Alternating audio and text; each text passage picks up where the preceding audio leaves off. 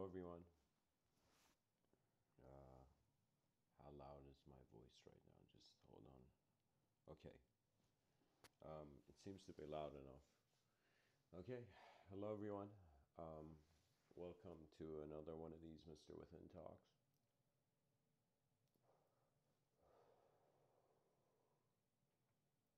Tonight, I want to speak about a very interesting idea, and it's kind of like I saw an interesting way I could communicate it. So, and it's about how to treat yourself as a mind. I find in this world of ours, we are being trained to be perfect bodies, you know. Everyone's trying to be a sort of image that is valued in the eyes of the world. But when I say how to treat yourself as a mind, this means that there's a dimension of you that has to do with all the physical action, all the physical things you're going to do in your lifetime. Okay, so there's an objective component to, to your moment of being. Now, there's also a subjective component, and due to how the civilization is behaving, of course, I'm one man in a universe of a billion trillion stars, you know, uh, my voice shouldn't be that loud. My voice shouldn't be that, that loud, but I'll tell you this. The way society is working currently, I find that we are avoiding the value of the human mind. And simply because children are not taught how to be their minds, how to open up their minds, you know they're pretty much put into a by the educational system into a mode of just taking you know, and eventually, you know, no wonder why the world is so cruel. We have to take.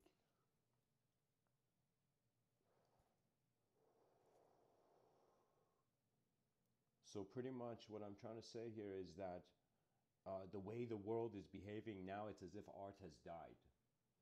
But I, I find that art still lives in the personal dimensions of people. What that means is, regardless of how much the outer world becomes colorless, there's a sort of vitality, a sort of for life force that comes from within you. It, it doesn't matter what happens external to you. It's just how your mind is standing in the moment. And so to be aware of your mind is something very difficult, I find. I find it was easier for the ancient Greeks, but nowadays, with the systems we've designed, we've created a society that does not give us freedom of attention, it actually takes away our attention. And so most of our attention is, in some sense, the objective experience of the person. I find that your mind, uh, the way you get acquainted to it, is the opposite of your body. That means if you want to experience your physical body, you go run outside, you go to exercise, you know, you dance, you experience certain rhythmic alignments of the biological being with the biological world, you know with the natural world. In some sense the body is um it's like this kind of rare satellite dish that you're being. Now this rare instrument you know let's say it is an instrument like a musical instrument you know every person the way they move it's as if they're playing a melody of some sort. But the mind is different. So if you have to physically exercise and in some sense do intense workouts to maintain the body let's say you know, I find that the mind actually it's the opposite in the sense that you need moments of silence and stillness to observe it. And so this is what's been missing, and in, in some sense, the ancients knew, but the modern generations forget. Simply because the world sells them on a story of itself that they don't have enough time. So it's easy to be a hedonist when you think there's no point, you know? The issue is that we are a counterculture to certain ideologies, um, how can I tell you? It's as if when the unknown comes in, uh, every human being is trying to find an answer for it, or whether they like it or not. It's like either you're avoiding the unknown, or you're staring at it in the face and realizing it's still unknown. That's the thing about the unknown, guys. Regardless of how many, like, even if I was like sitting somewhere and like the most enlightened people came, you know and i and after i asked them what the truth is and they all told me the truth you know i'd be like but what about the unknown guys what about the unknown nobody knows what the unknown is even the unknown doesn't know what the unknown is you know And so it's that regardless of how much we get convinced by the world we see and the language that our mind uh, brings forth in accordance to what it sees, um, there is more. There is more.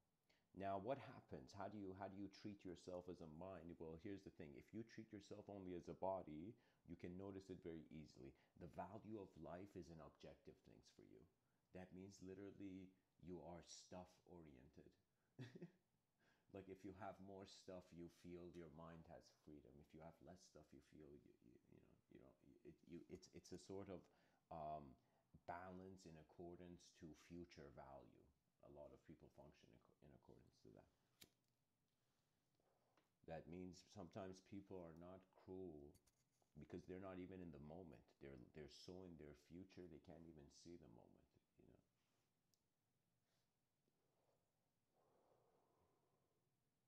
The reason they say the greatest gift is, in some sense, your presence or the present is because your presence is life. It doesn't get more raw than that. Excuse me.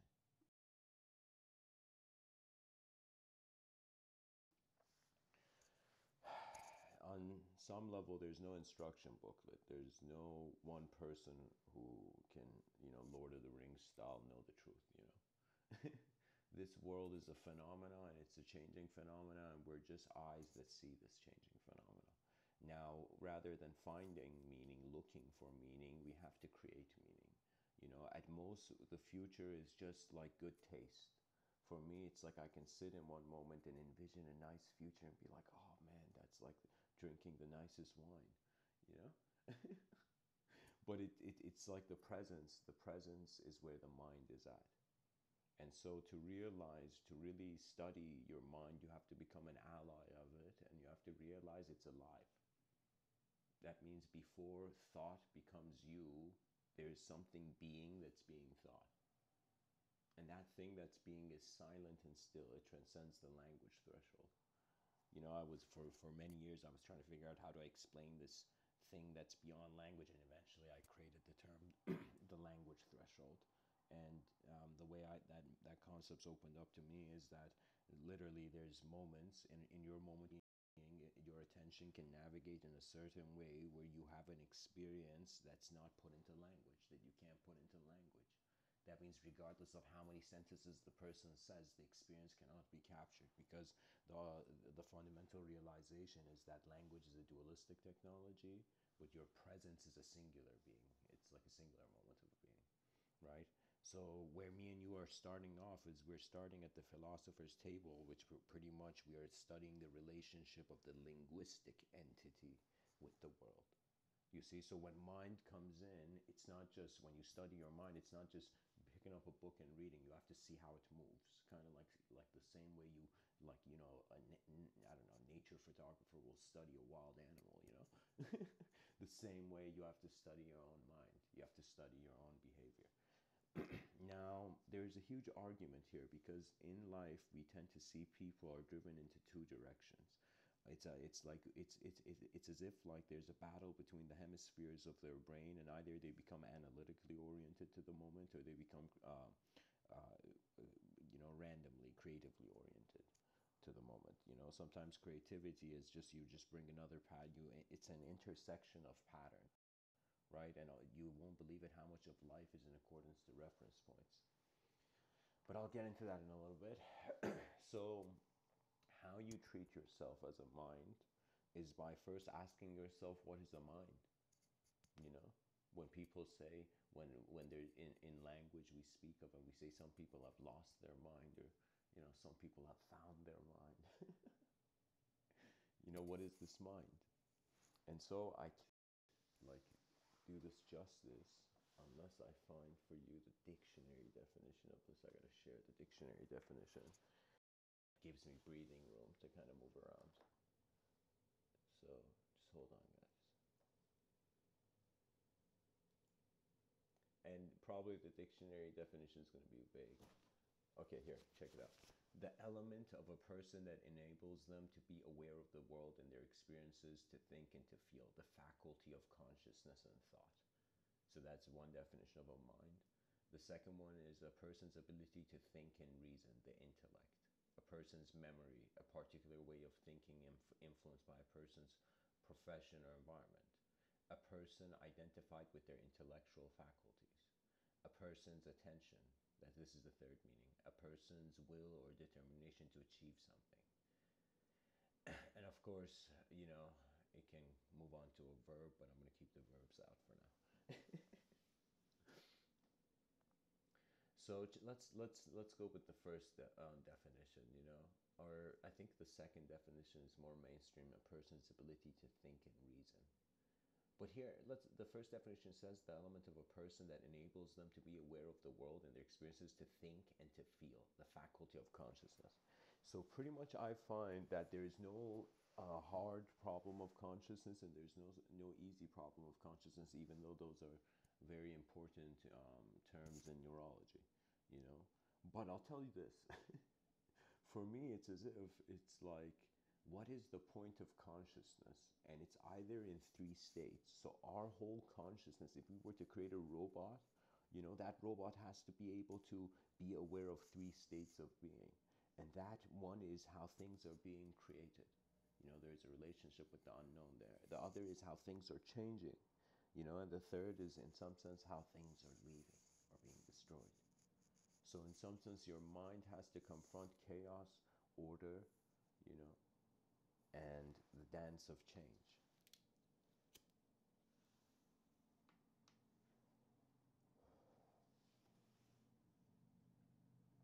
So the mind is pretty much your intelligence, another way of saying. Like when someone does something, you know, I guess, you know, not intelligent, they, they say, you know, it's like, is this guy out of his mind? But you'll notice a lot of times genius is embarrassing until the last second it pulls through. It's as if the person hasn't won the marathon yet, but if he keeps running, he'll get somewhere, you know. So here's how you, I've, Mr. Within would suggest, uh, dear listener, how you can treat yourself as a mind. You look at your mind and you realize you're a moment of being. There's an objective component, your physical body, and then there's a subjective component.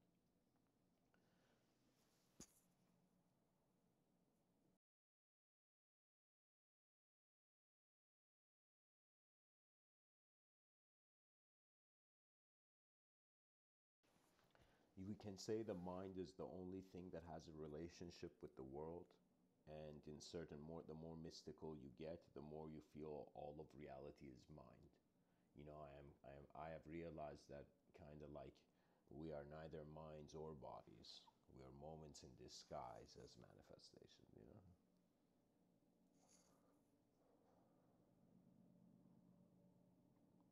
It's as if we are using language to clothe ourselves into a sort of character in a play, you know, character in a world, you know, in a subjective world.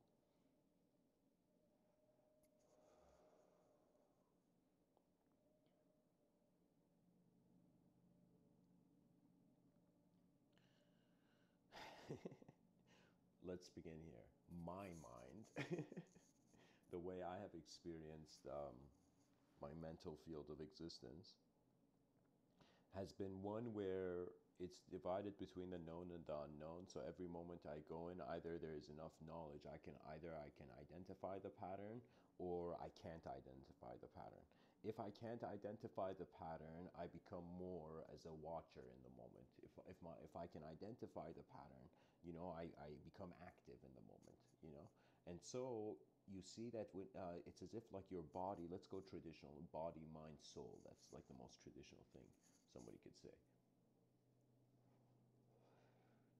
And so the body let's say the body you know the body is here to and it, it requires to be engaged in certain programs of activity now the best ones accessible for now seemingly is the cultural and uh, social programs that the human being needs to be involved in.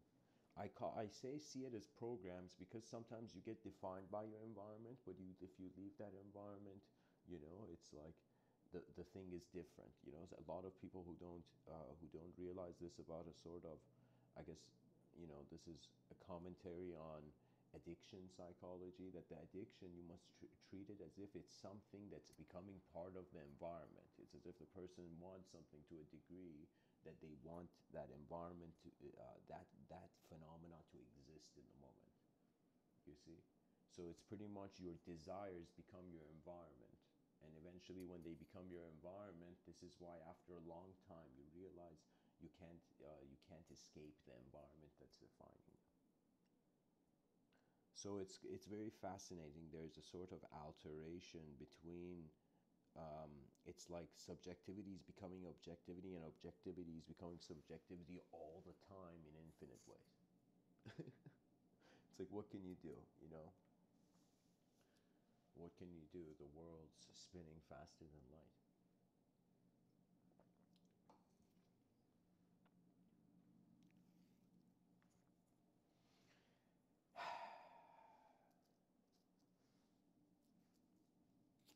the world we live in and the world that lives in us. The mind, uh, its result is dynamism. That means if there isn't some sort of result of manifestations change, you feel your intelligence is like just internal, you know. So it's a part of it's as if you are you are the messenger of your inner reality into the outer manifestation. That's a interesting way you can see it.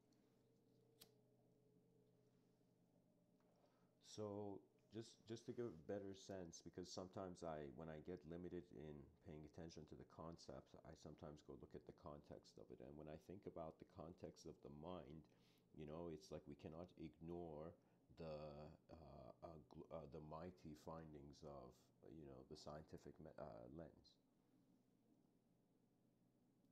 And so what we find is after 4 billion years of evolution, somehow consciousness has attained a co- complexity where it's aware of itself. So, literally, our difference between uh, like other animals is that our intelligence allows us to be aware of things their literally biological design is not designed for, right? And so when you look at survival, I think this is the notion. We're not surviving because we want to just reproduce, you know? We are surviving because we want to see as far as we can. It's as if you're, you're, you're, you're, you're found somewhere in a game and you're trying to wonder, okay, I'm in this world out of nowhere. How do I engage? And it took me a while to realize to learn not to listen to the voice of my environment because a lot of children don't know this this this is how their conditioning happens it's the voice of their environment the child does something wrong someone shouts at it and the child goes on thinking forever that action is wrong imagine you know a lot of people in the west don't know this but a lot of um, you know young people in eastern societies where there's a sort of strict uh, domi- uh, a strict subconscious domination of, of behavior, it's as if you lose your freedom. You know, it's like it's like the the wrong ideas find you in your youth, and you know, in the middle of your life, you wake up and you're like, why was I uh, going along with these programs? You know, these modes of my own psychology staring at itself in the mirror.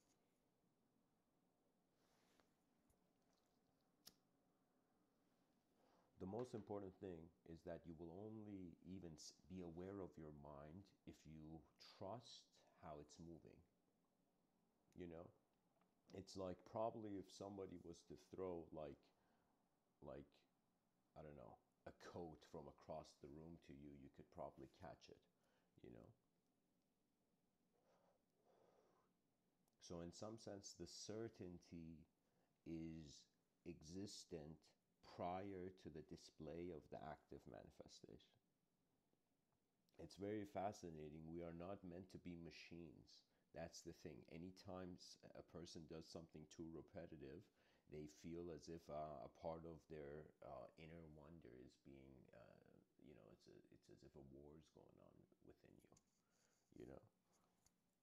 I've had moments where I have been in among the most joyous crowds, and I have not been a part of that joy.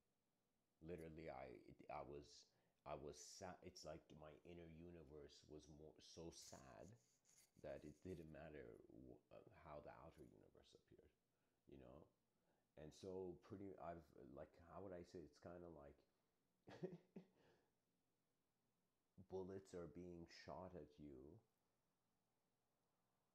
ideologically that means various ideas are coming to you throughout the day for you to process, and some of these ideas don't relate in accordance to the harmony of your past experience. So the thing is, you kind of, whenever you become a student, you realize you are forever a student. How can you stop learning? You know. and here's the hilarious thing: when you become, in some sense, look through the teacher's eyes, you're like, oh my God, you're eternally a teacher. How can you stop teaching? There's endless things. So you eventually see this the, the relationship, the axis, of literally how you stepped into the dual, dualism of the moment. That becomes the only thing left. So you have to find an honest moment where you trust whatever intelligence it is that is you. You have to trust your DNA to some point. It's like literally the cosmos is like, all right, buddy, you got to trust your who you are being, or like, what else do you want from me? You know.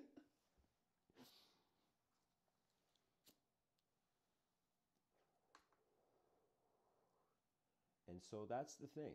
So I'm seeing it like this that our, uh, when I say civilization, I'm pretty much considering the aggregate, the total of all societies, also all, all societies that there are human beings behaving. On some level, we cannot call uh, what's extraterrestrial, like if an extraterrestrial comes, we cannot call it an alien. You know, because many of us, our inner realities are so alien to one another you know that it's as if we're all so different that even if an alien comes so what? The alien's different too. You know everybody it's like it doesn't matter. It doesn't matter if you're in the same species or not. It's as if there is a changing world here.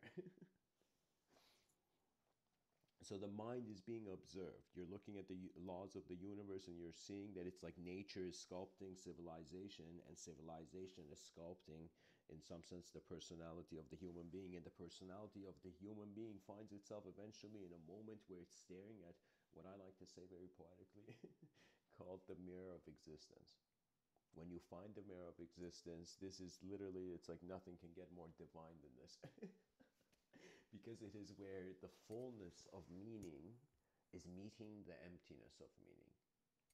And literally, it's as if the uh, the, the self inquiry, it's a, like the concept of you have of a self and how the whole moment is existing, they both stop. It's literally like your mind stops projecting the loop. You know? Because it's so important. I like to evoke the fighter mentality that means the reason a person like the i'm not saying this in the um, fighter in the sense of like external fighting you know it's like sometimes your mind you, the strength of the mind is different than the strength of the body. The strength of the mind has to do with its vision and its awareness to, uh, to the source of its vision. And it doesn't matter whatever kind of uh, program of language you entertain or where you were born eventually you will see enough of the world that's here to get a sense of what it is. And uh, I find that pretty much the whole task is uh, you, you don't just pick up trash of the past generations, you know, ideologically. But you ask questions. That means right now our society is depressed. You know, when I say our society, I mean pretty much I think all people in the world are depressed because they have more answers than they have questions. Literally, their life is filled with more having more truth it's, it's as if they asked for truth and they got it and that's it it's like their hands are full for the rest of their lifetime with the belief of the truth of one moment it's as if even if man wanted to see God, and even if God was fathomable, of course, Abrahamic religion suggests that it's not. It's not fathomable. But even if God was fathomable and you saw God on one day and then tomorrow you saw God, you would have literally, your eyes would have changed biologically. literally the cells that are making you you would have changed. So in some sense it's hilarious because you're like okay let's say right now i'm the thought of a person okay? And let's say person a. And when you see this person a looks at himself and he's like okay i'm person a right and re- then realizes tomorrow it's as if like after 10 years the biological body has changed so much that that thought could never own the body in that moment you see, so you realize you're not a thought. You realize it's kind of like your mind space. So here's the cool thing. This is kind of my job here, where I, Mr. Within, has to tell you, your mind is here right now, and it's not that when you close your eyes and think of something, that's your imagination. It's not like that. Your mind is like a body too, but it's a body in a different room. You know, a different room of subjectivity, and eventually you have to I find experientially by trusting your just intelligence and just, uh, you know, listening to nature, eventually come to a state where you find a value in life that surpasses language. And you know what that value would be? That value would be a sort of contentment. Because you can instantly take someone's psycho- psychological conception it's like it, it, it's not but it's like weather. You don't control the weather. People's thoughts are like weather. When you understand this when you get a bad thought you don't treat it as you. You just like okay the weather's pretty bad. Let me go change my mood you know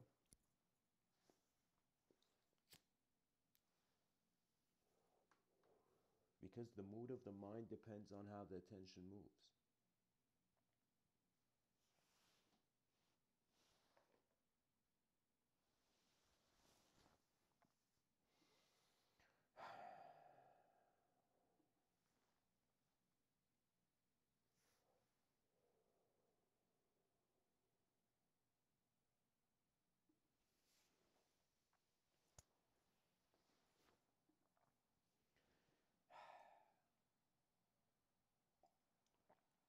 the question gets so big that it's it can't be pull it can't be moved by one mind.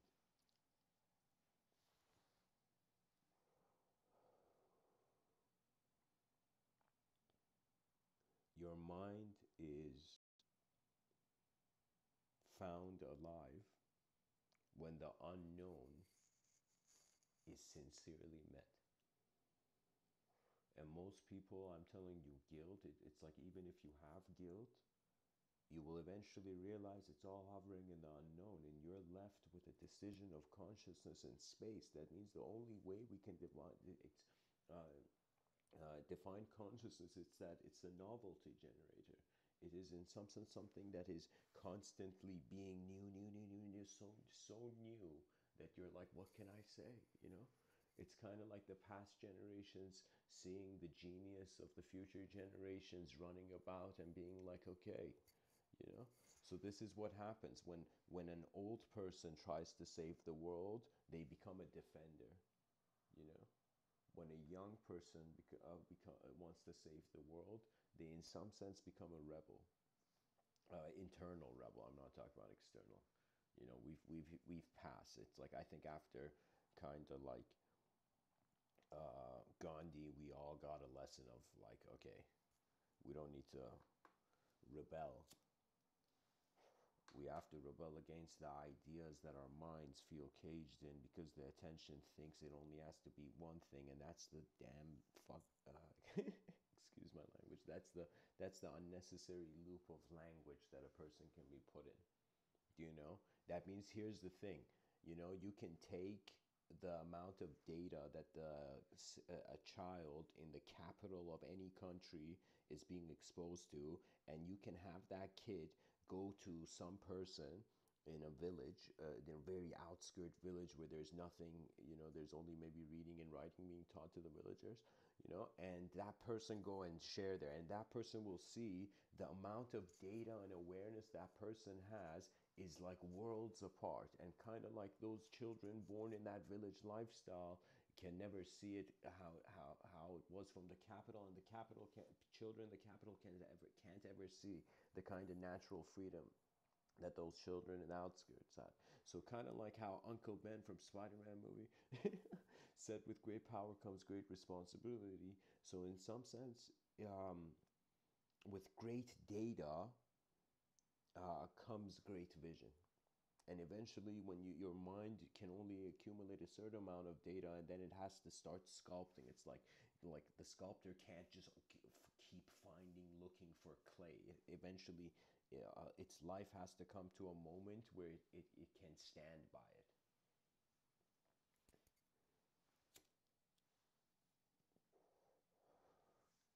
And what's important is to realize the intensity of your subjective vision or outlook on the world.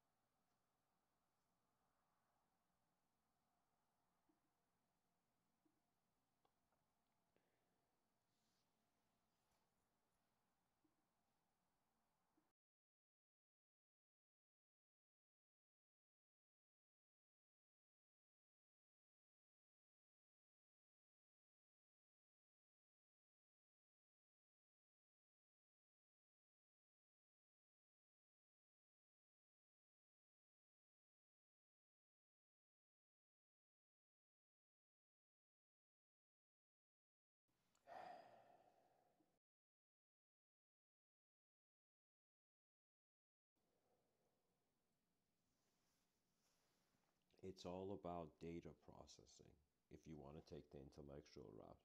And data processing will just take you to the infinite void.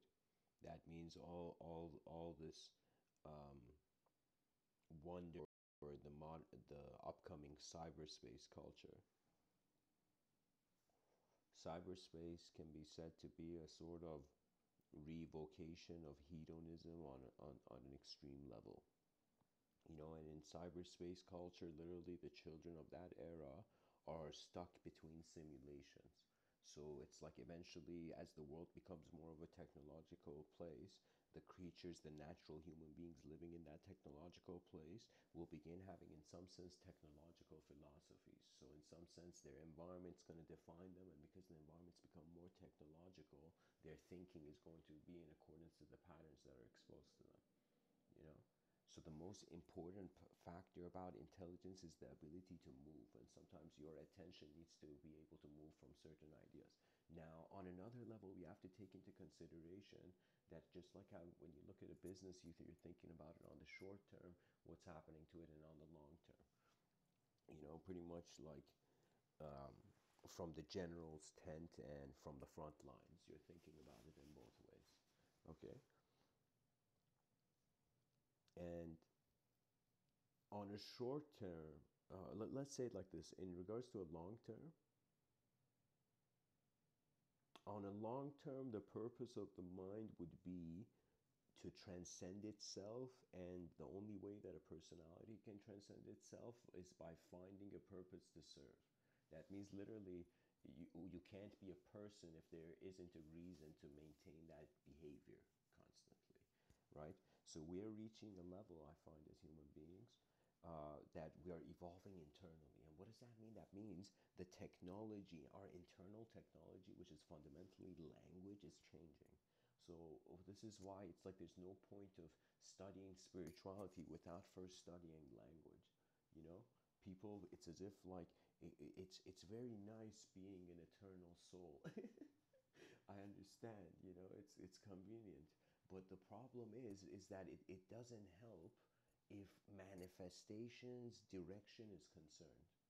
And so here's the thing on a giant, really long term level, you know, in billions of years, the Andromeda galaxy and uh, what do you call it? The Milky Way galaxy will be intersecting, you know?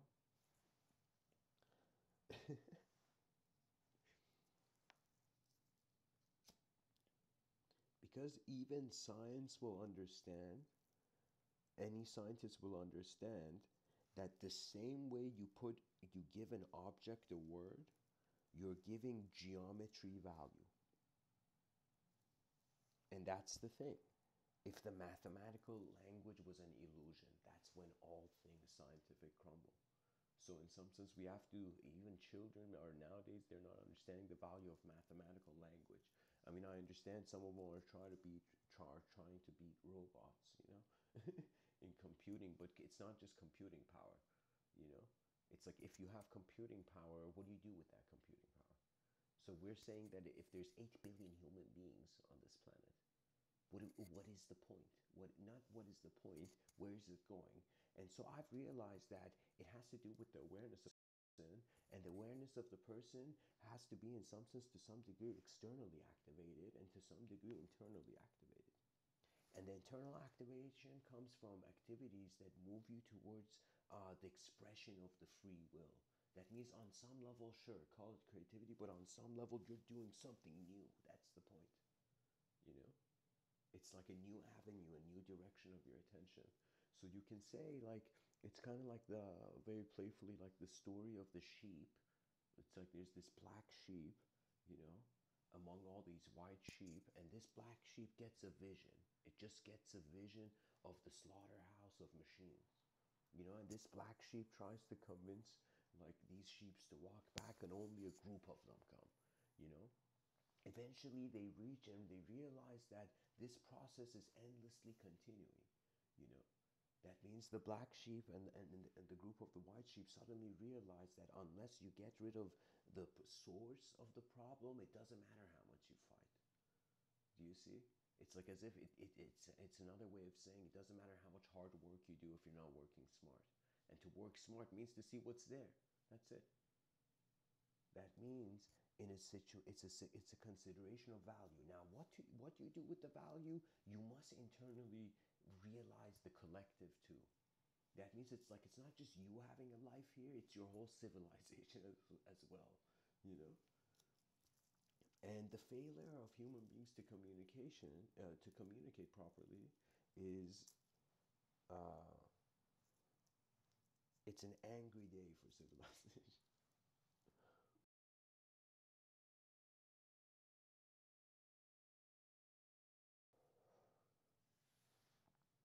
So I find that the mind is attention.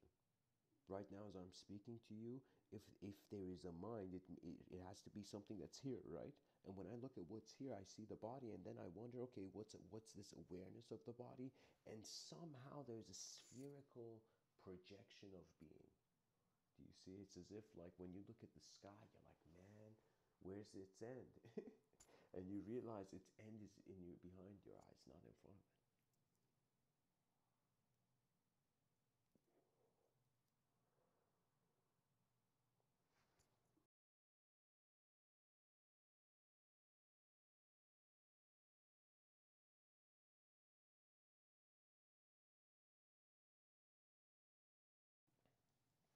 The era of truth sharing has passed. Literally, people looking for truth is like people trying to find another idea to worship. And the greatest thing that an idea is that it creates enough of a self reflection for uh, an action for the world to some degree. So, how do you treat your mind? And this is where I find it gets really interesting, where you have to realize there is a personality that is you. That means your mind is somehow you, eh, let's say, spontaneously being you and all the memories that are you are aware of in this moment. Okay. So the mind is such an expert, so advanced that instantaneously it's being the world and the self and the distinction between the self and the world. You know, think of think of it like that.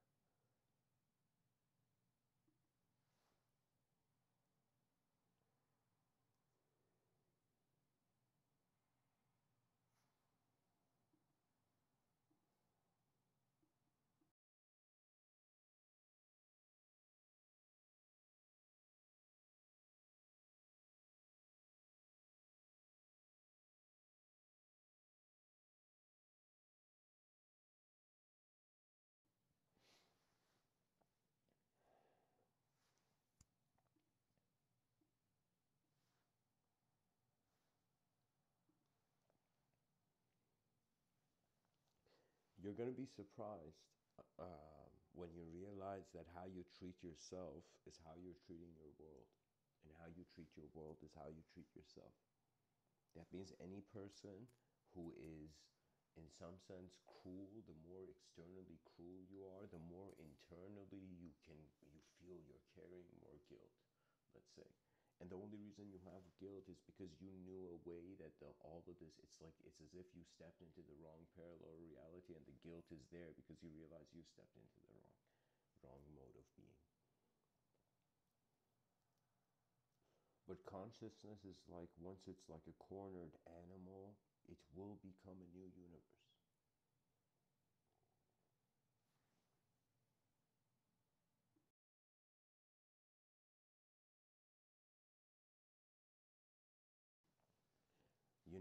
Realized how much of Plato's work, this ancient Greek philosopher, influences Western thought, and I looked at Western professors, you know, teaching the most, you know, high caliber rationality, you know,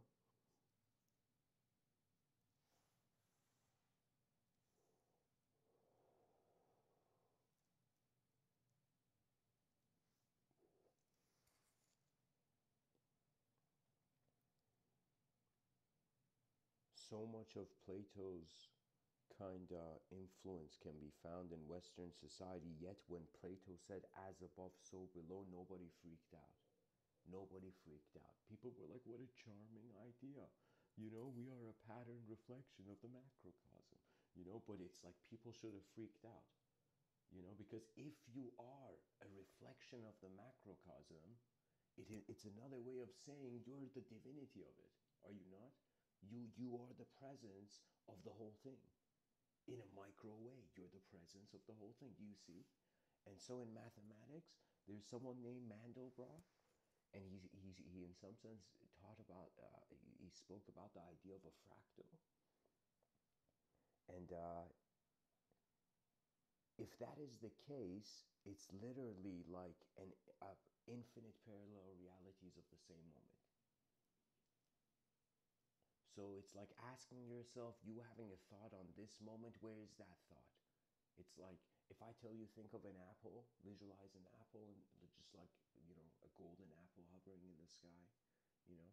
Or if I tell you, visualize, you know, an orange hovering in the sky, you'll see that your mind is like putting both of those thoughts. It's like you had two moments of individualized world perspective, like snapshots of how the world meant, and then another one, and where are all your thoughts?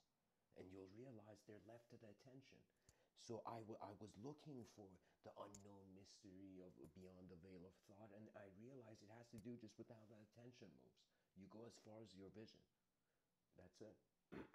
you can even endure as far your vision. That means before you make the call of effort, you have to make the call of direction. It's like before you start running, you got to know where you're running, you know? Because then what's the point of speeding up if the if the unknown is there? So it's like you need to see through the front window of your car before you, you know, regardless of how you drive. You need to be aware of the environment and what part you are in the environment? That means it's like they should they should have this thing anybody irresponsible of their uh, uh, of how they move in the moment should not drive, for example. You see? the mind is, um, if, if we were Sherlock Holmes,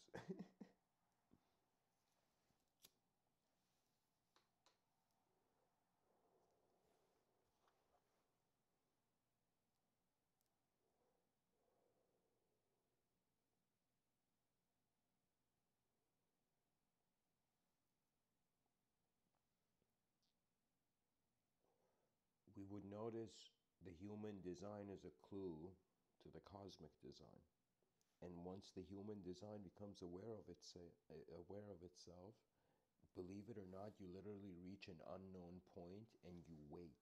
Literally, you you you you evolve, you transcend creativity. you transcend transcend creativity into an experiential witness of how existence moves. So imagine like any moment you want to be an individual, you want to learn just from the individualized aspect of matter you are. But when you become still, eventually the, you begin feeling the winds of nature. That means for me, it's like if when any time I've been called towards meditation, whether intuitively or uh, just externally, someone's like asked. In some sense, it's become a moment where I go and sit down as if I'm sitting in a cinema and waiting to see the greatest movie, the newest movie my mind has to show me. And I just, when I close my eyes, it's like, you know, this is why it's, I, I have a problem with sleep. because it's like the, you, when your eyes are open, you're doing some work, and you have to wait till that work finishes to completely close your eyes. Even if you close your eyes, your attention still comes to what's in front of your eyes.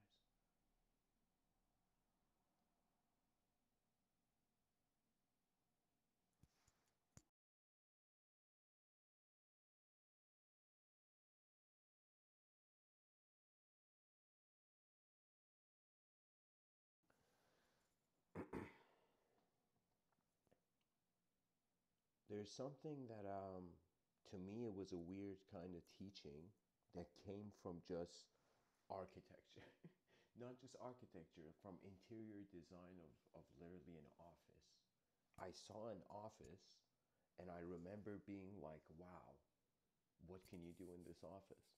And I realized you can, you, it's as if a project can be started and what is the greatest project to embark on? Like what, what is the most efficient thing to put your attention on? You know? Why is it that we have billionaires on youtube telling people invest in yourself folks. Invest in yourself. Because it's like the more open your eyes are the more value you're adding to the entity that you are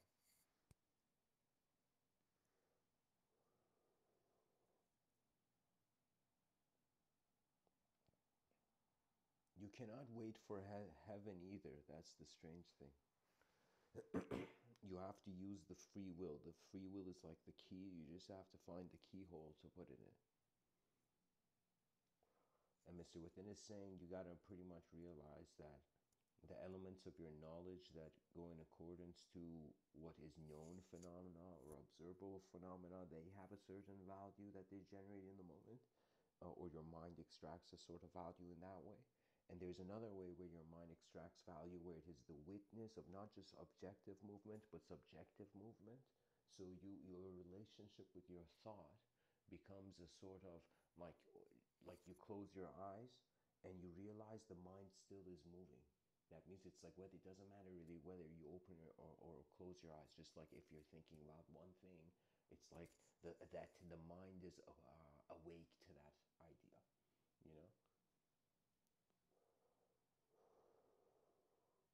There was a moment uh, I was walking in a park and I just get this feeling to go sit on a rock.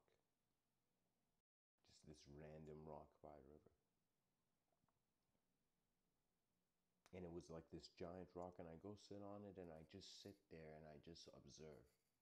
And it's as if my mind, like kind of like, you know, like how those old school submarine radars worked my mind would kind of like endlessly try to refresh itself. It's as if as long as the heart was beating, free will had something to do.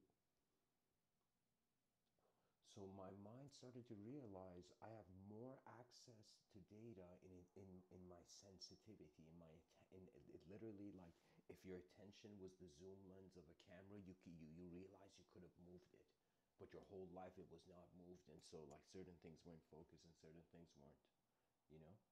The nature of our evolutionary design commands us to adjust to new environments. It's like we have no choice. Like if if, if like you know there, there's bad weather conditions people go inside you know? It's like yeah, there's no debate. But on some level there is uh, the ability of man to uh, resculpt the surface of the earth so I'm saying that you study your mind, you realize its individual designs, you realize your inner reality, you come to a sort of contentment with your inner reality, and then you see the, uh, the outer reality. When you see the outer reality, you wonder about the purpose, your, the value. The purpose is, in, is another way of saying you're looking for value, you know? and so this this kind of value eventually will be realized that the concept of self and the concept of others is codependent. The singular dimension and the multidimensional dimension are codependent. So in some sense you stop the search.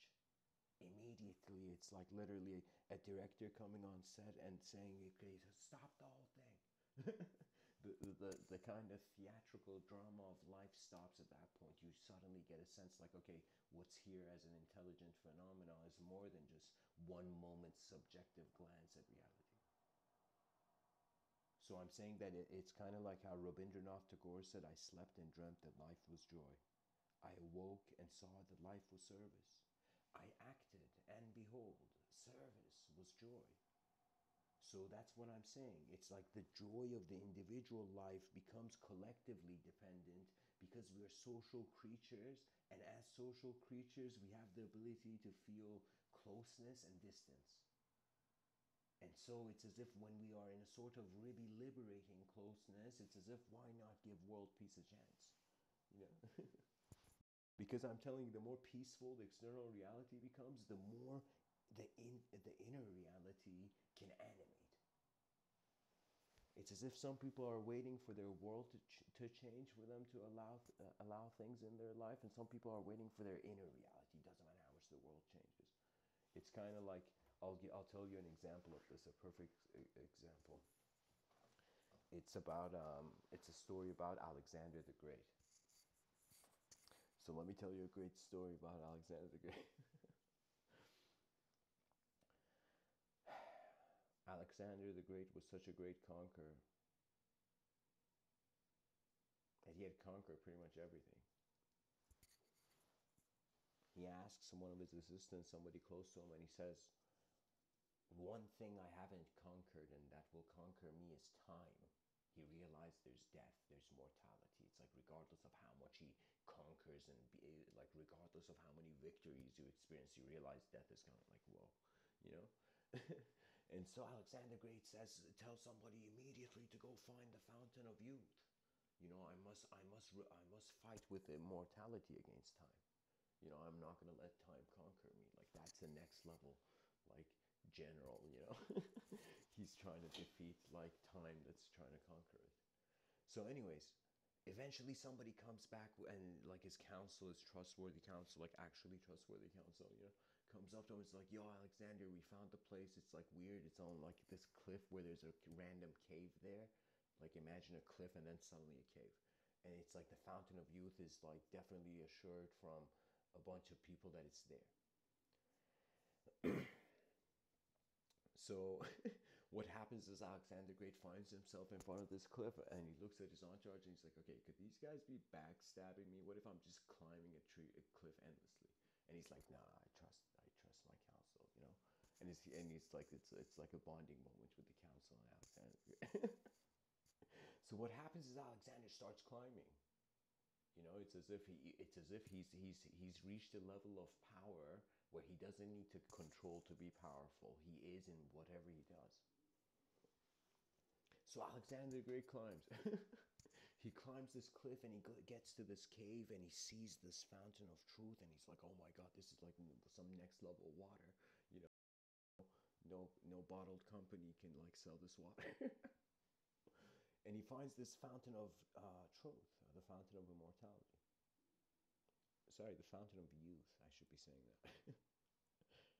he's he goes there and of course like after you climb a uh, cliff you're thirsty so he goes there to drink from it and he just gets the like you know he's about to drink the water and suddenly he hears a voice and this voice says don't drink it and he looks around and he's like whoa it's like what's where'd that voice come from and he's like he's and he thinks to himself like no there's no way i've been this thirsty that i'm going insane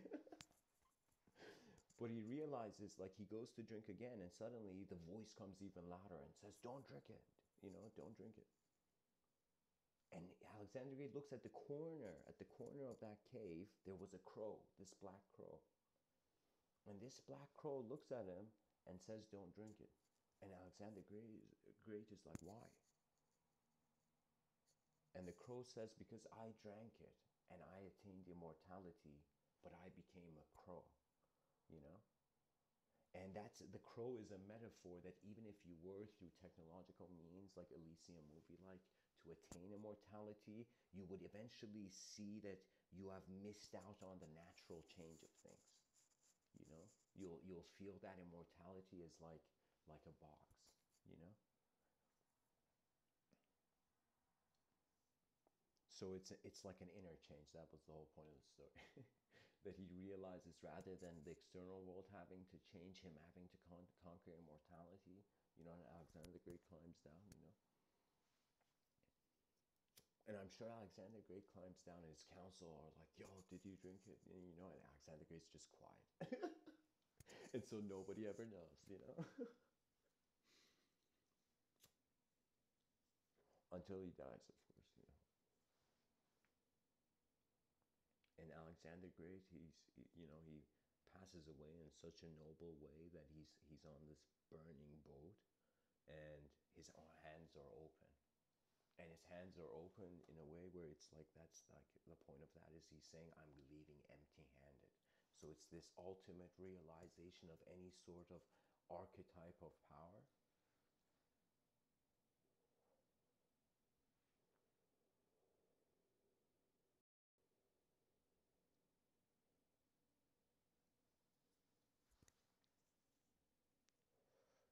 the greatest archetype has to be let go of. Pretty much that's the point. So it's as if like your mind calms down when it realizes how the universe is moving, you know?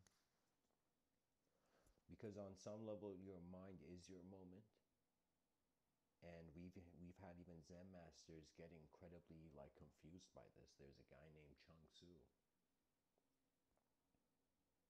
And um, I believe it was Chuang Tzu. He pretty much wakes up his disciples, see, see he's upset, and they're like, Why are you upset? And he's like, Last night I had a dream. And they're like, What dream? And he's like, I dreamt I was a butterfly. And, you know, his disciples look at each other and look at him and it's like, So what? and he says, You guys don't realize, I don't know now if I'm a Zen who dreamed I was a butterfly or if I was a butterfly dreaming now I'm a Zen master. So in some sense, he had reached a sort of subjective, sing, like a singularity between the subjective and objective. You know, and that it happens naturally. To be honest, it's like every person's DNA is like a unique puzzle piece that's fitting in regards to how the world moves. Know.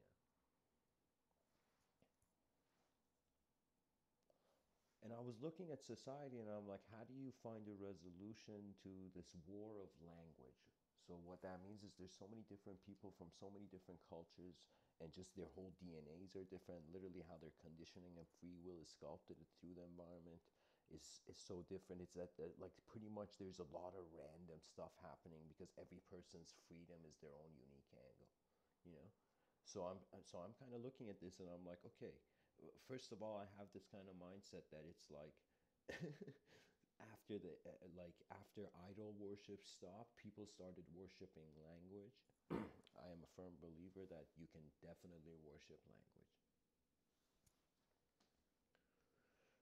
And I feel the world is still doing that to some point, but it that has not come at a disadvantage. You know, it has come at, at an advantage. I'll tell you what the advantage is. Is the advantage is the linguistic technologies become more sophisticated. So as we have been living in our illusion, something's been happening, and what's been happening is literally, uh, it's like in one viewpoint of life, there's an incredible complex intensity. In another viewpoint of life, that same it's like the compl- complexity was in another room so many different people in the world. It's like if we look at just their bodies, like physically, we say, okay, overpopulation, oh, you know, boohoo, you know. But if we realize every one of them is a mind, is a unique kind of, they're harboring all the steps that their ancestors walked in their life, you know, they're a unique kind of, their eyes are unique. Then you realize the whole thing is about the uh, the discussion and w- where the attention goes, you know and there has to be something a lot of people have to be careful of. And I call this ideological deception. And so what that means is, for example, this is what has what has happened in history when any uh, spiritual kind of guru in India was confronted by a sincere disciple saying, like, tell me the truth right now. Like there, was this guy named Papaji.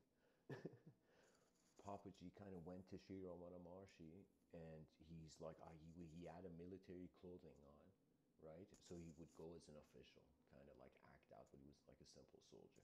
And he would go to these mon, it was like one by one, these different ashrams in India and just shout to the person and say, whoever knows truth, show me God. He's like, he was like constantly saying, show me God. And if you show me God, I'll tell you, you know, I'll be your loyal servant for the rest of your life, something like that. And it becomes something very insane where he goes to many people and people are like no way man. You got to study for many years. You got to sit down and meditate buddy you know? And and he, you know uh, what's his name? Uh, papaji's like no it has to be in an instant. You, you either know it or you don't you know and he runs. And eventually comes to Sri Ramana Maharshi and uh, I believe how the story is is like he's on the mountain of Arunachala and Sri Ramana Maharshi. Oh no, no, sorry, that's a different story. Um, yeah, he meets Sri Ramana Maharshi and he tells him, "Show me God now," and the whole spiel in his military clothing. And Sri Ramana Maharshi says, "God is not something that is seen." And it's like, whoa! It's like he did. It's like literally Sri Ramana Maharshi was like, like. He's like you're looking you're looking at things from the wrong lane to Papaji. And so I'm going to share with you the other story because it kind of interrupted my thinking. Um, Papaji's on this mountain and Sri Ramana Maharshi sees him and says, um, what are you doing, you know? And Papaji's like, I'm dancing with Krishna. I'm, I'm dancing with God, you know?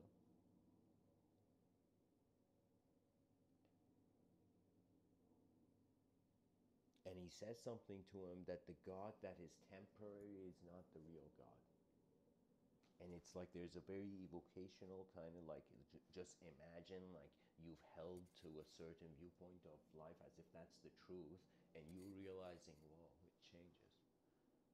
So, on some level, I'm saying the issue of society is that even though physically I understand the whole game of nationalism that's occurring, but behind our eyes, it is consciousness, consciousness's novel experience, is it not?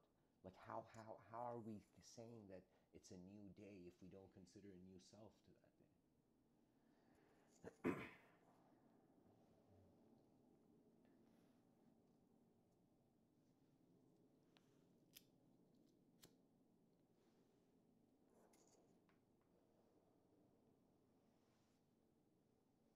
I find that the it's something that um, Diogenes, this ancient philosopher, was great at. All these stories I'm sharing, guys, I'm trying to hit a certain common theme. All of them have to do with a sort of external realities, meaning come going internal.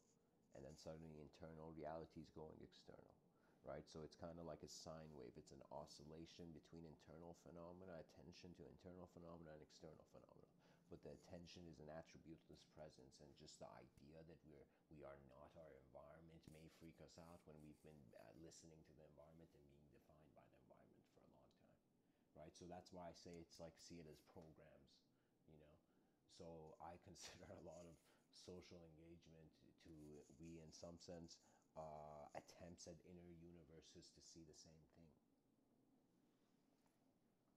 so the value of the person's mind, on some level, you have to do the inner work for it, and on some level, you have to do the outer work.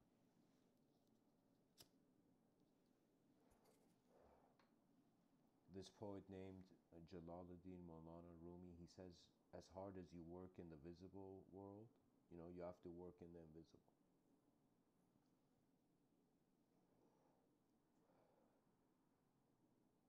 That means you have to get acquainted not just with your physical movement as a biological being, but also with the subjective kind of with the faculties of your intelligence that animate the world for you.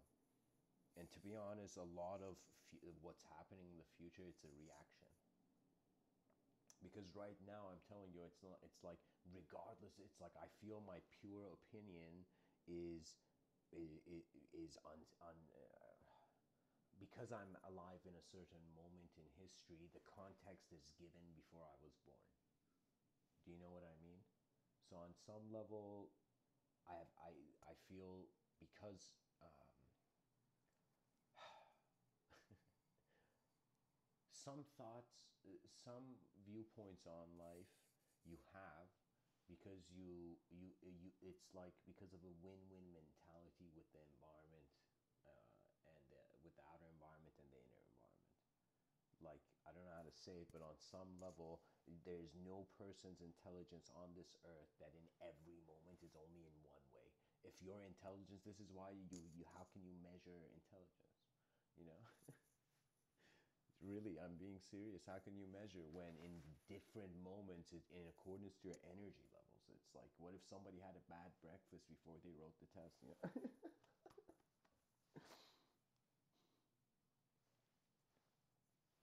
it's not a numerical mathematical language is uh is kind of like a, a very advanced in, uh, instrument that mustn't be used uh, not sorry not mustn't be used um, it's like philosophy has to respect mathematical languages' uh, position.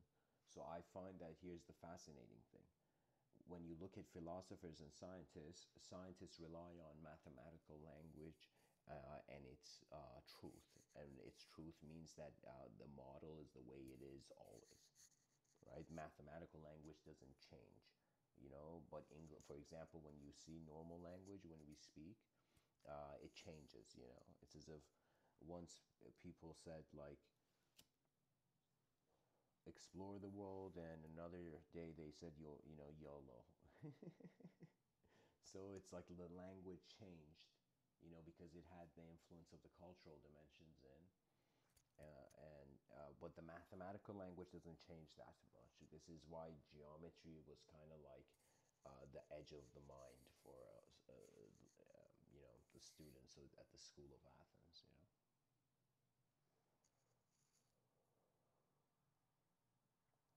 So mathematical language has a sort of static stability that scientific models of thinking rely on in regards to measurement, you know. But philosophers come on another angle looking at this linguistic entity and its relationship with the world, and they will eventually realize all of metaphysics is this mathematical kind of pattern. I'm telling you, it's all zero, one, and two, and beyond. What that means, it's like like you either think there's nothing, you either think there's one thing, you either think there's you know two dimensions at once, you know you either think there's three dimensions at once, and you eventually begin to see it's like you either think it's like infinite, you know, then you consider okay, it's infinite plus one, as if infinite in infinity has somewhere you know a gathering to go to, you know. you eventually come to the edges of the conceptual domain, and mind has to rest, and eventually it awakens.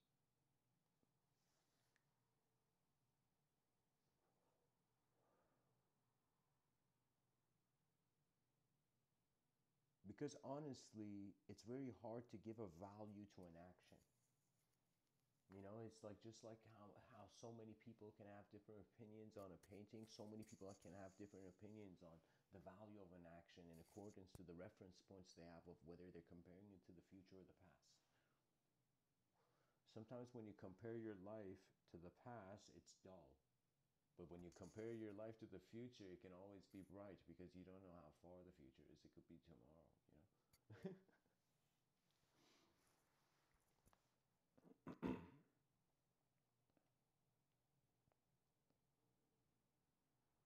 it's like you got to get fascinated with with what you are as a being and you gotta i find take certain um, it's a sort of strange discipline on an internal level. Okay? External discipline is very different. External discipline requires you to forget your imagination and just do the action repetitively. You know? Kind of like the guy going to the gym and just on some level just be, be, becoming a repetitive pattern while having headphones on and listening, being in another world, you know.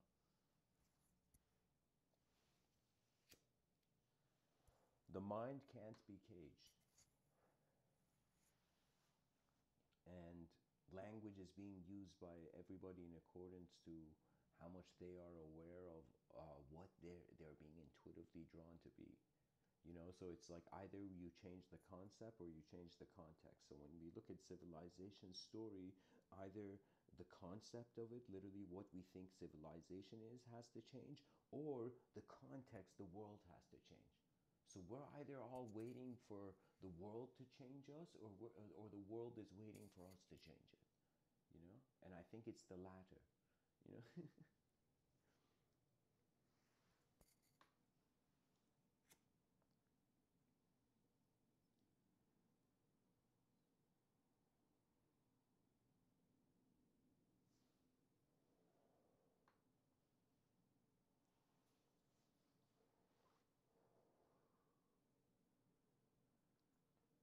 you know, I, I see the day where there's a school, uh, kind of like a school of Athens opening up everywhere. Literally, there, there being kind of places where the children of every culture have come to strong conclusions of their cultural program and are sharing it. You know, it's like here's the whole thing um, imagine education and entertainment infusing imagine the educational system creates a kind of world where it's providing a pleasant experience at the same time educating you see? And and parts of uh, i find the, the mind has to if you think about it as a brain you will feel like you need to train it. But i feel it has to do more with uh, you being curious about who's looking through your eyes and how you have been acknowledging the moment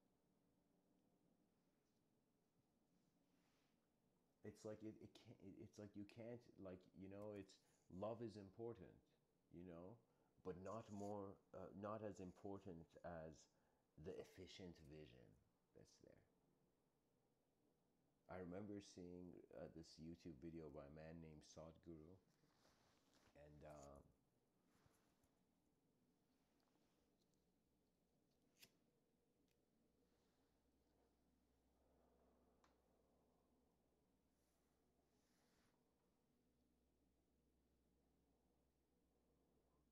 and he said something very important. He said, It doesn't matter how you feel about something.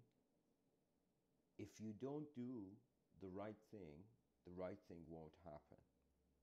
And I realized this man who's claiming a sort of mystical clarity is suggesting ultimately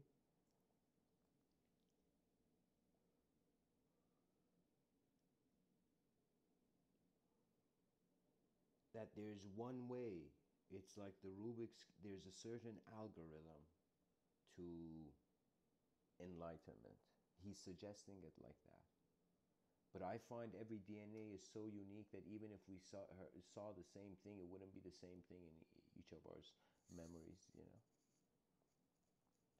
And I find we're at a point where, believe it or not, nobody knows language is kind of like how the caveman made fire. We sparked symbolism all over objective phenomena. You know. so it's it's it's the dawn of exploration. Literally, you have to go. I recommend this. Start a journal and make this just a private notebook. You know, and start documenting how, as if you're a researcher of your own mind, which only you can see. You know and eventually you're going to see the, uh, how much the mind once it the more freedom it has the more it feels its intelligence open. So the more its mind is attempting it's as if more neurons are given permission to move. But without that internal authorization it's as if the being is too locked down. Anytime you resist something you can't be good at it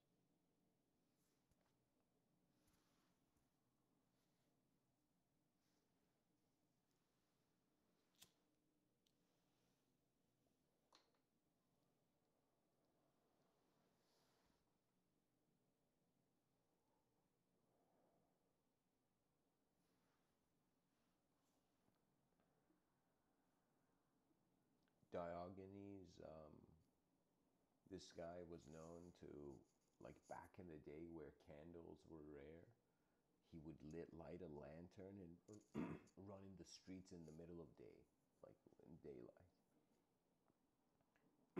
and people would be Diogenes, what are you doing?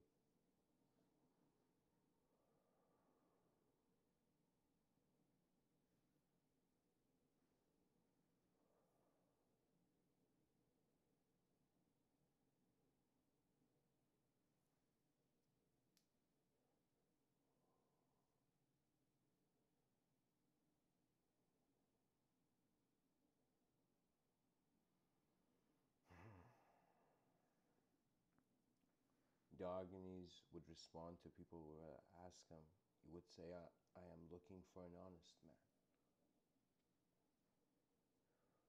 That's the most precious thing to the mind.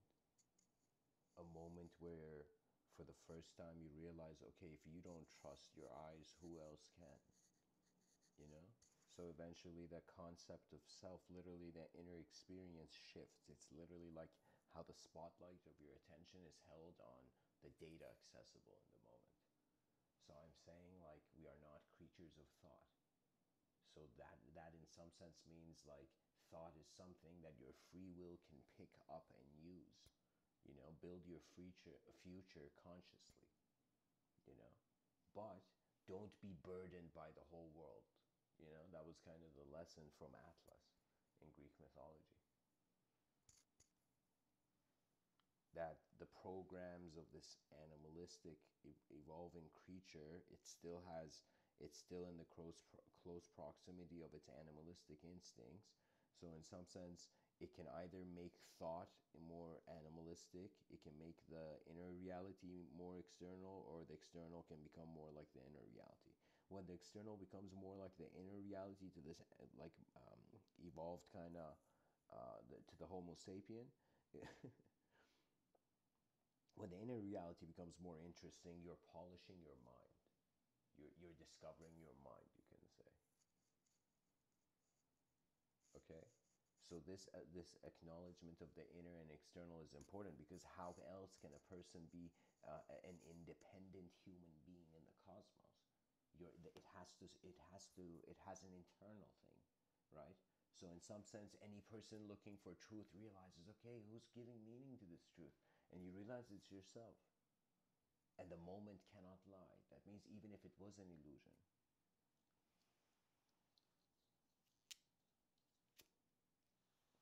Even if, as Michael Talbot would say, this whole reality is a holographic simulation, you know. The illusion is present somewhere. That means there is a truth to the moment being something.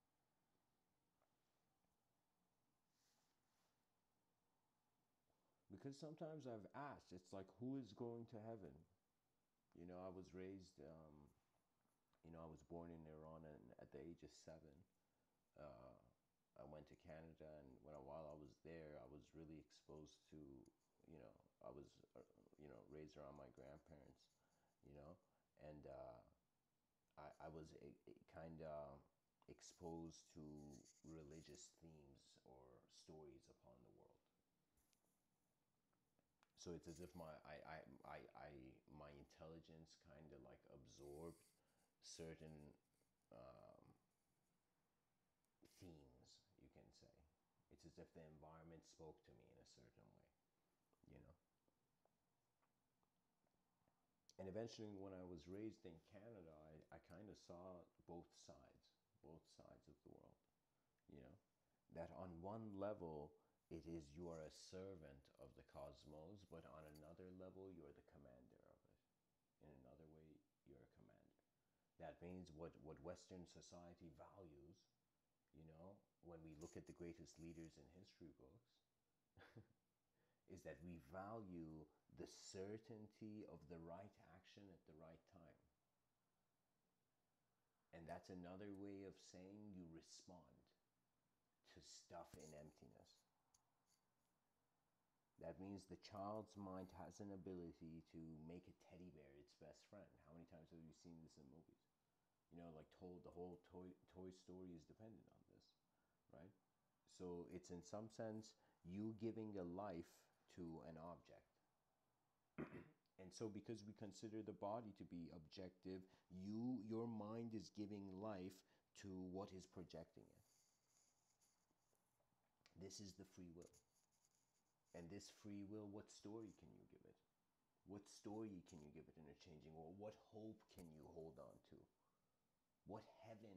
It's like it's like again, who is going to heaven? The who is changing all the time. Not only your the cells of your body change, but the way your attention uh, morphs is an idea, or goes through a metamorphosis is an idea. Because on in an evolutionary way, it's kind of strange. It's like a surface of a planet, and any sort of space debris or you know intelligent uh, you know cellular level could have been it's like think about it. It's just a rock in the middle of nowhere. Everything from space that hits it comes on comes on to it.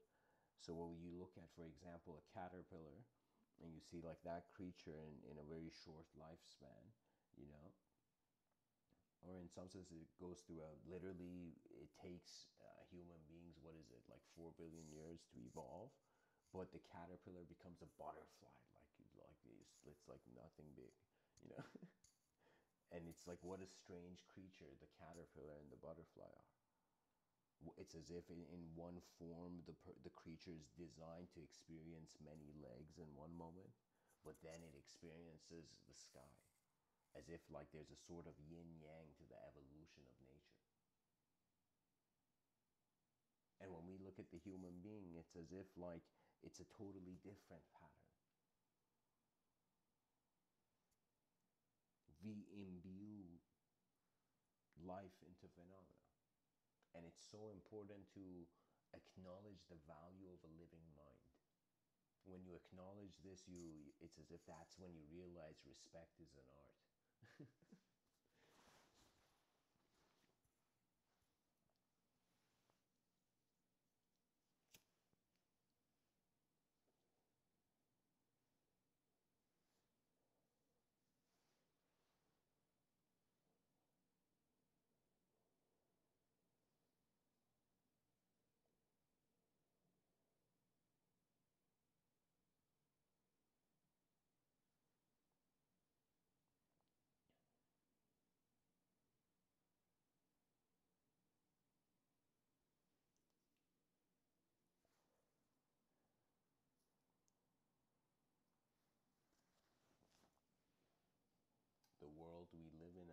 that lives in us.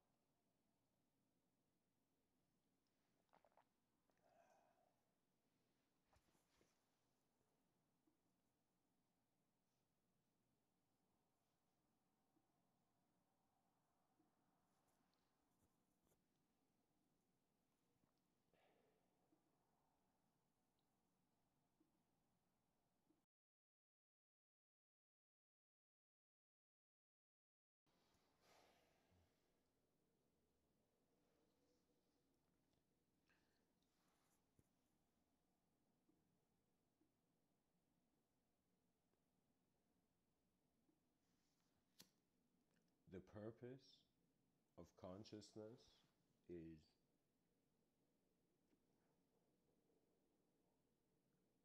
is to keep recalibrating its known perspective with the unknown until it notices the witness within. And when you notice the witness within, the subjective structure is no longer into a format of a personality, so you're experiencing yourself rather than as a particle you think the intelligence is from the particle, which is the birth of the intellect. You begin to see no, the intelligence is is the result of the field of intelligence that holds that particle. So the more you go within, the less ideological it becomes. So the less you can have hope, love, fear, or any of those stories or nouns on it. It becomes that kind of like uh, kind of untouchable quality of the instantaneity of consciousness that even if we try to penetrate you know that far deep into the mystery of consciousness we would realize it's like a black hole. Like literally light goes into it and it, it doesn't. The grav- gravitational pull is so much that uh, once it goes through the mental horizon it can never get out.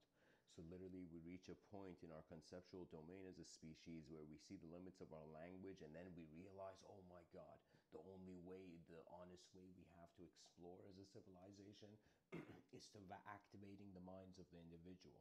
And the technological reality was the attempt of one sort of thinking. Do you see? It's as if, like, uh, just like how there could be a technological, a cultural or, orientation to the world, there could totally be different ways. It's like this whole discussion that there were 13 modes of flight, methods of flight, but only the, the airplane's wings was one of them. Right? As if there were so many different ways that they just didn't make it past, past the finish line of history books.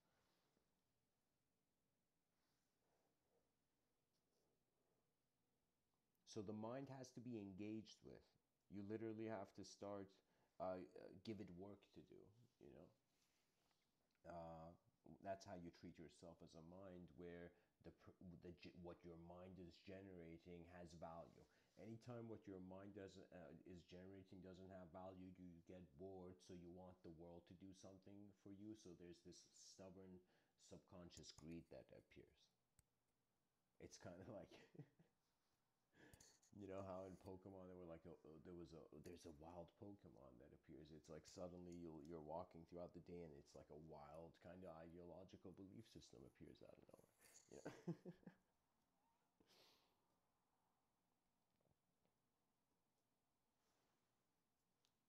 you see, here's the difference between I thought I, I think any other sort of um, I guess profession oriented mindset uh, if a group of philosophers in one room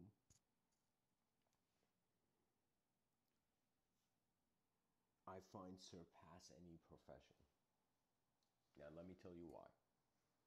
Because I find that their thinking will will realize rather than fighting each other, it's kind of like the movie Independence Day where a sort of extraterrestrial civilization is attacking humanity. So we're like, okay, let's stop our wars and fight this thing, but get it off our turf, you know.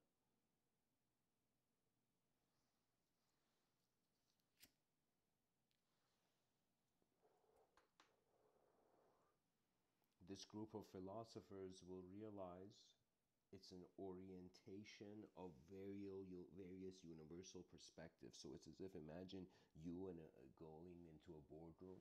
You know, I've been privileged to experience a couple of these, where you have, you have gone with a group of people, and in some sense you're working on the development of an idea. That means all the personal lives of the people are are are, are in a different room, as if when you enter work, just like how you enter your home, like you put your hat and your coat like back in the day they would hang, like you know hang their coat similarly it's like when you enter the house you're a family man you're no longer a business person.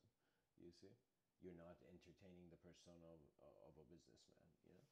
And so similarly when you enter the office you're no longer the same person you were outside. It's as if when you enter the office you must have the superpowers of profession uh, professionality you know So it's like any person who leaves the office anytime they leave their work, it's kind of like Clark Kent, like Superman, you know, like stop, you know, stops being Clark Kent, you know. And I don't understand how this dude like just putting glasses like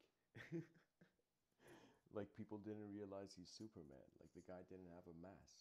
That's his you know, he, he didn't he wasn't super intelligent in that area, you know.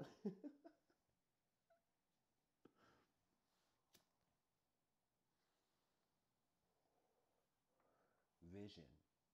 Vision is, um, we used to hunt buffalo, now we need to hunt vision.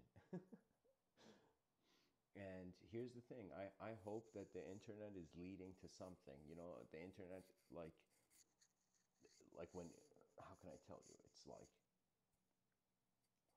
so much of it is not indexed and what's indexed you're wondering like how much of it is actually entering the ears of people you know, or is having uh, some sort of value. And eventually you kind of like, how can I say it? It's like,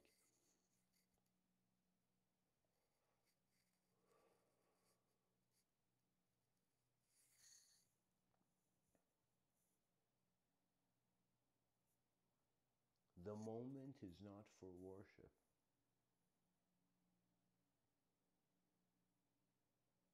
That means there is no purpose for an idea because it's instantaneously evo- evocational according to your free will. Do you see? So, this is why no thought will ever be satisfied.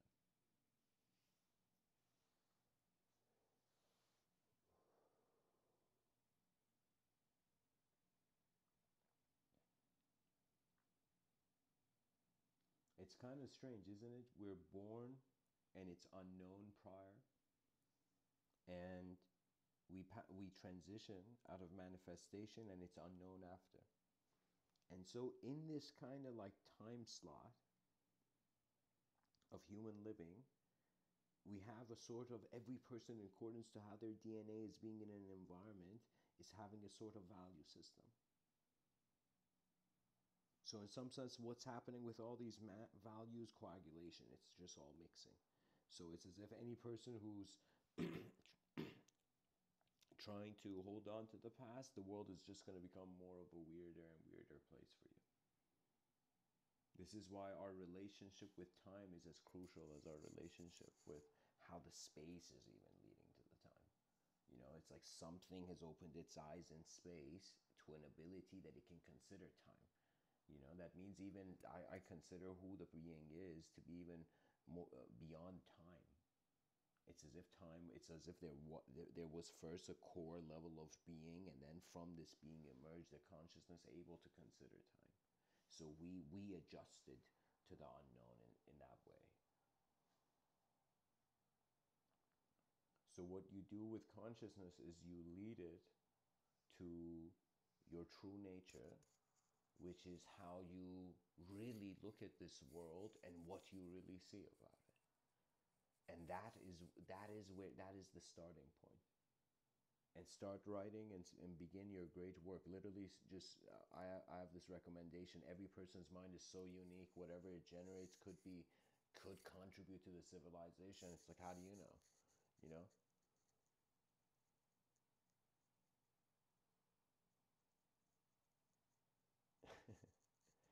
It's kind of like art to some degree. You you can't you can't cre- you can never create good art if if there isn't an internal freedom, and there is never an internal freedom if you're adjusting to the external. So this is why I'm saying there there requires to be certain moments of just mindfulness where then emerges kind of like a new attention and that is not um, bound by its uh, subjective kind of context to the world it gives.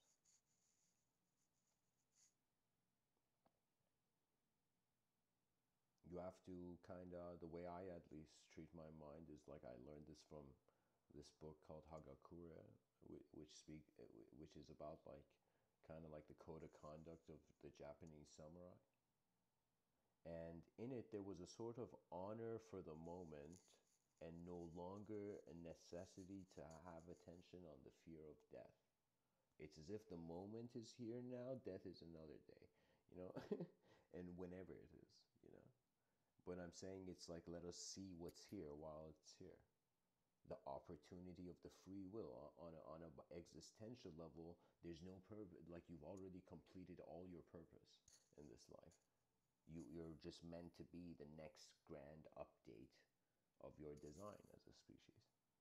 So in some sense, living a life as as who you are has an incredible value to the future because you're you're staying true to your design you know it's like think of it this way. The same intention we had as as as as, as beings to step out of the food chain and, and create civilization our own kind of safe kingdom. The same effort we must have to still reach a point where the mind is not being influenced by its environment.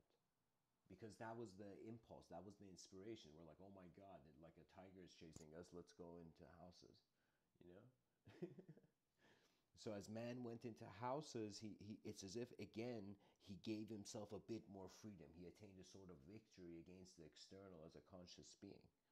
Okay? His survival expanded. It's like back in the day you die quicker. Now you're oh, there's much more uh, you know. We haven't found the fountain of youth but uh, um, medicines available. you know.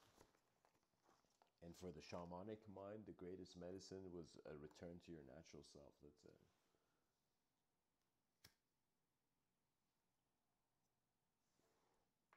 Nature knows itself in ways that man can never know. You know,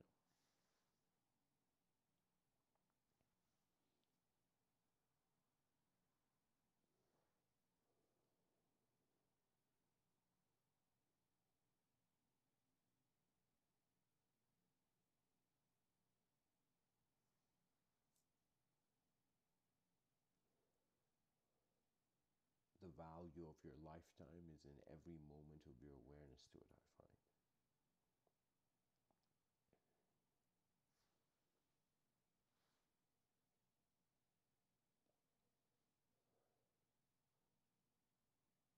Something strange happens when a person, um, I recommend this, um, writing is fascinating. Writing is like the most divine thing I find.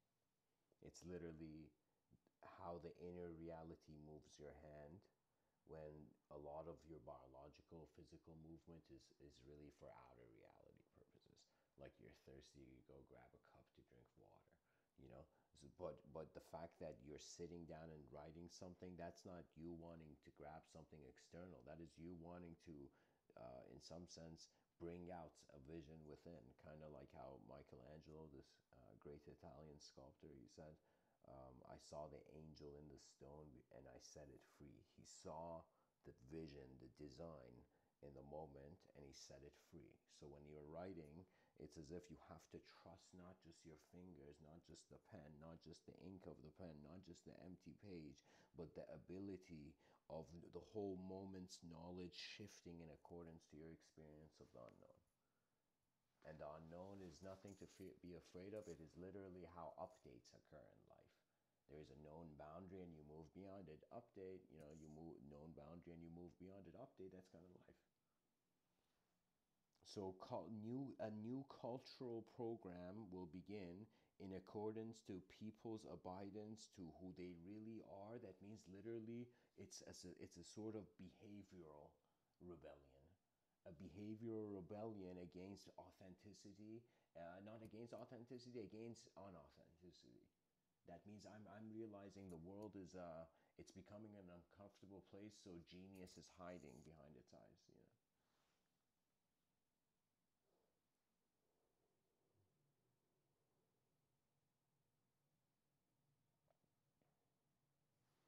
The ancient Greeks would say to tame the savageness of man and make gentle the life of this world.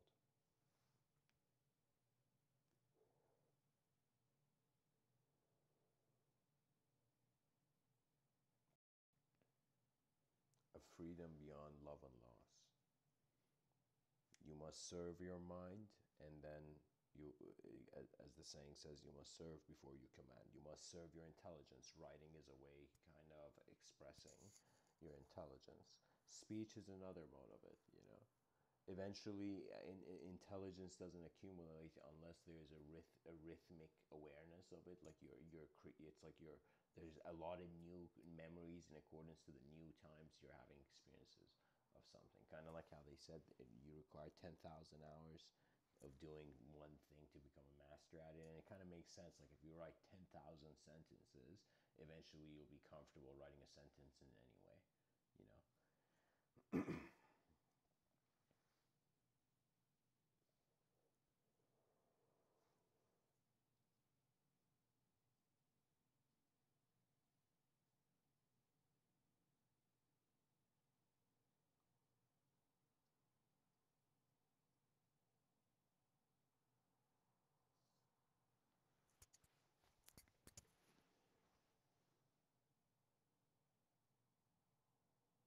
live as if this moment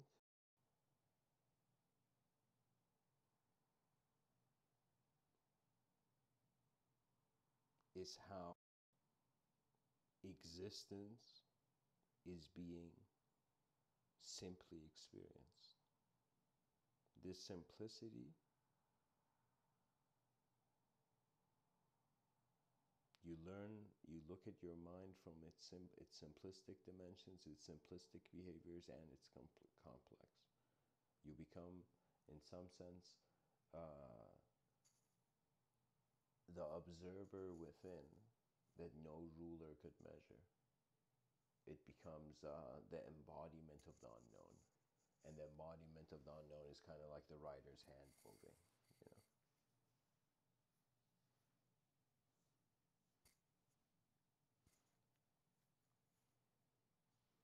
It's like what Mr. Within would say is there's worlds behind your eyes that deserve to be released. The inner reality exists and is as helpful as it contributes to the external. So, pretty much with this realization that there's so many people having so many different viewpoints on the same rock in the middle of nowhere. so, so it becomes a situation where we're like, okay, let's let's give every person create a civilization where the child is the opposite of rather than uh, not having access to physical resources. Let's say it has access to all physical resources to a point where we get to um, what's his name? Aldous huxley's uh, aldous huxley's brave new world. A, a, a kind of utopia where everything's happy and possible and there's nothing bad imagine we get to that point. Now, there's some advantage to a utopia.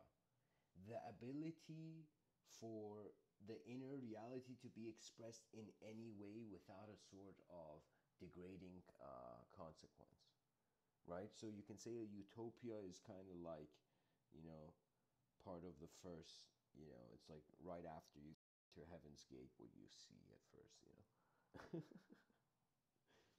so so so what i'm saying is like regardless of if the world is kind of dancing through order or dancing through chaos regardless of the design you, you wonder about the design's value inner reality and external reality eventually become witnesses the same moment. When you're free as the same moment you realize the presence of intelligence as a breathing biological or self-aware uh, i'm not going to say self-aware yet i'm going to say aware being it's like you, you you'll learn to appreciate your biology is as majestic as looking at like a waterfall. You know back in the day imagine some person seeing a waterfall for the first time would go oh my god what is this kind of like masterpiece of nature? You know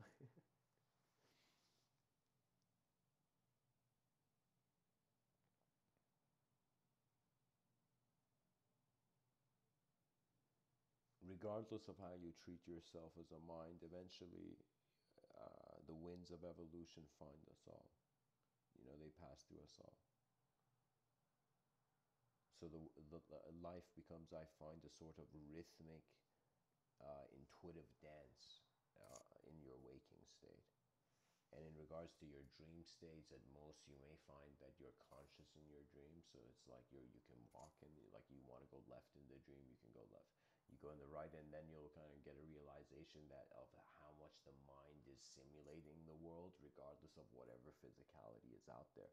Because if you can have a dream where in the dream you can move and you could still be an individual that means the mind doesn't really need physical reality for you to have an ex- experience of a simulation of a life in your dream state.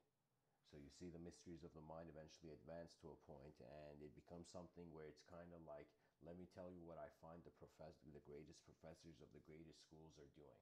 They're literally covering the eyes of the people in the bunker uh, of seeing the battle that is going on outside, the sort of uh, confrontation of ideology and the void.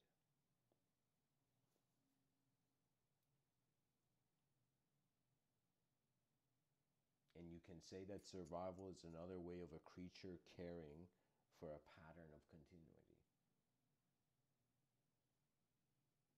So you have to study how your mind is being a pattern of continuity, and I, I, we have to use language to talk about this stuff.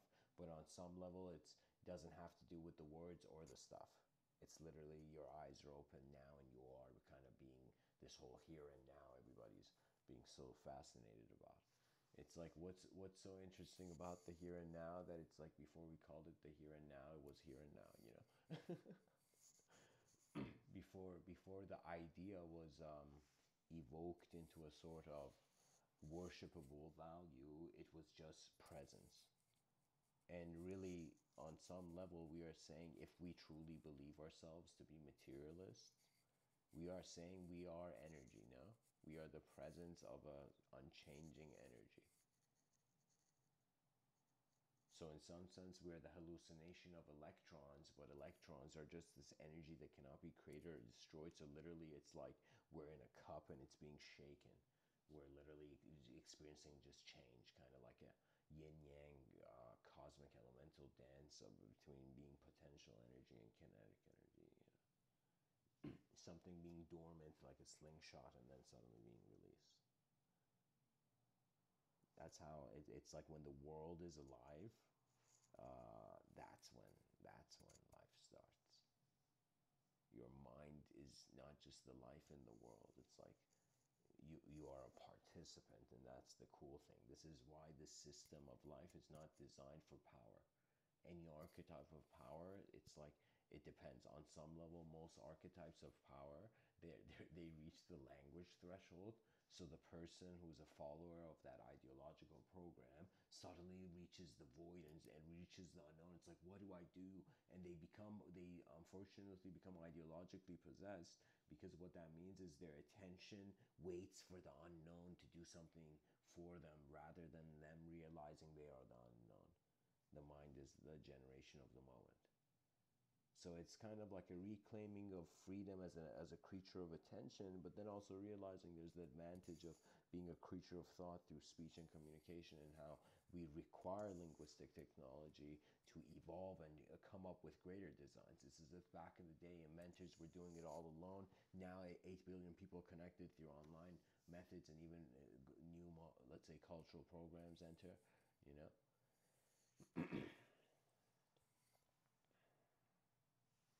and your the study of your mind to be honest has to do with your relationship with life you know?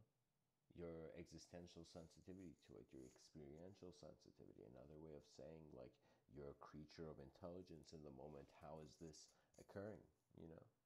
In what ways is, is your attention moving? And you're, you're as you study this you eventually see it's like i'm using the word mind now you could use whatever it's like language is like lang- you must be playful with language or you can't wield this, uh, you know, magnificent weapon. Not weapon, but you know what I mean, like this technology, you know, it's like language is a high-end Iron Man suit, you know. Anyways, guys, thanks for tuning in. Um, I'm, uh, you know, take language playfully. Um, don't take one idea so superior. Keep your mind like a democracy of beliefs at least, you know. I'm saying you don't have to be a thought, but if that's, you know, too unfathomable, just, you know, at least have a democracy of beliefs. What that means is you're hearing, you're acknowledging the design because regardless of who the person, like regardless of what the, how, how the communication is expressed, it, it has a core pattern. So all these words that I'm saying, their value is in, is, is in the images they evoke. And so you as the listener are coming here and listening in accordance to your experiences, your kind of like how the past has sculpted you, sculpted you so far. You know, all your experiences so far. So what that means is every moment you look at yourself, you're kind of like an artwork, unique artwork of the cosmos, like sometimes I look in the mirror and I'm like, you know, you know, how did the cosmos create such a masterpiece, you know?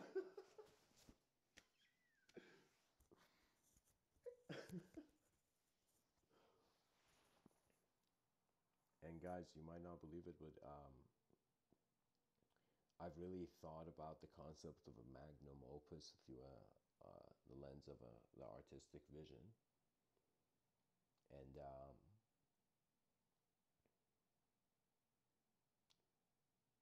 once there is freedom of self and there is freedom of world, the moment is then free. And then you, as a free moment, find yourself. It's as if the whole point of this, the whole point of any any idea of enlightenment,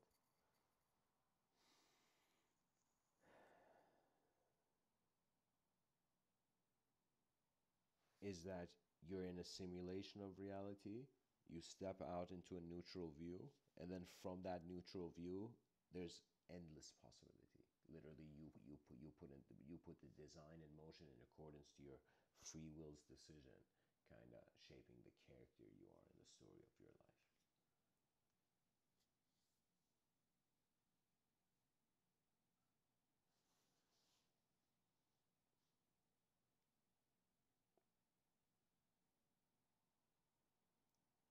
find the unknown always gets the last say.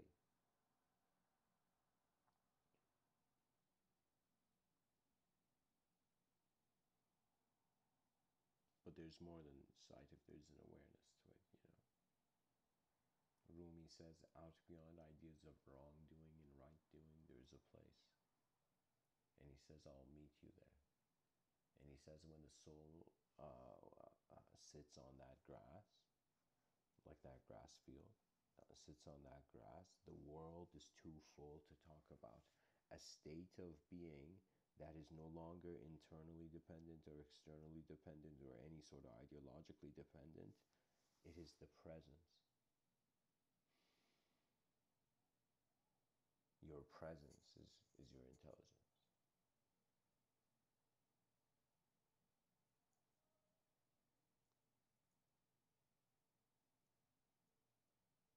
The unconscious is defined in accordance to your conscious control of the moment.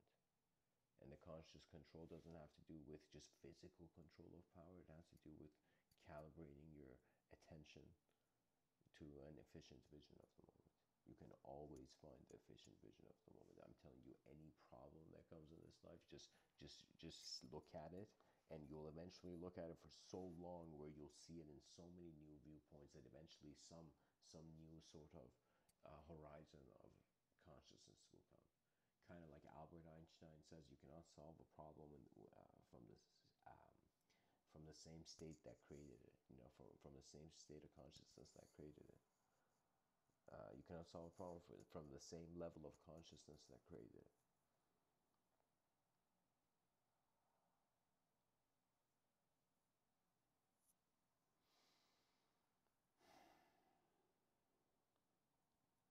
I hope this talk was helpful. And uh,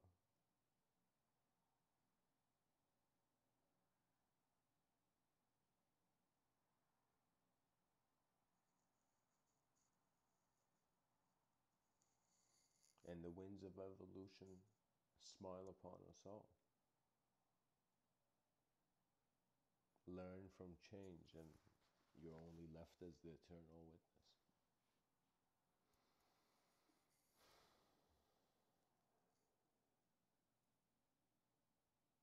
Thanks for tuning in, guys.